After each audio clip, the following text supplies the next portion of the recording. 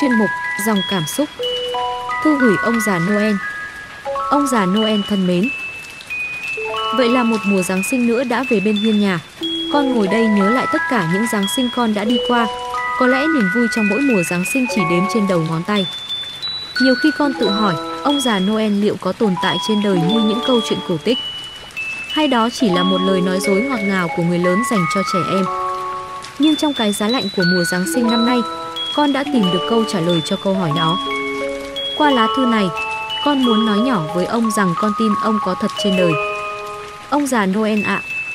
Tuy vậy xin ông đừng buồn bởi Đối với con, Ông chẳng phải đi vào nhà từ ống khói.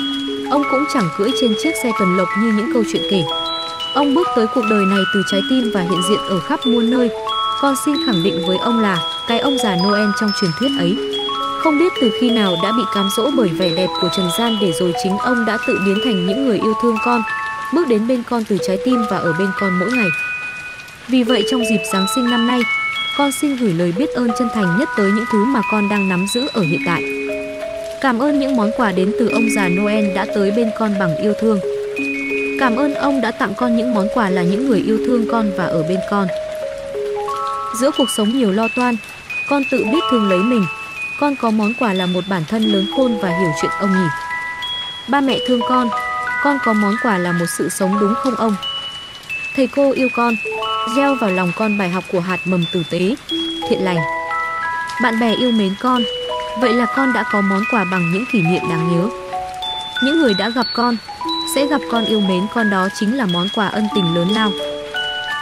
Ông già Noel ơi, ông có thể không có thật trên đời nhưng con biết rất rõ, tất cả những yêu thương con đang có là thật. Sau những vấp ngã đau thương, con nay đã biết sống ở hiện tại con yêu chính con và con nhận ra chính mình đã là một món quà ý nghĩa của tạo hóa. Ở mỗi lứa tuổi, với mỗi người, điều ước đều khác nhau, nhưng con tin chắc chắn rằng mọi điều ước trên cuộc đời đều hướng tới cái đích của sự no đủ và hạnh phúc.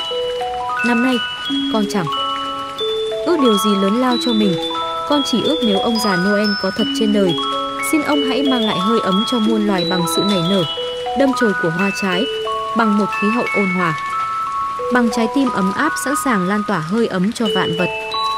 Chỉ cần thế thôi con đã thấy ấm áp lắm rồi ông ạ.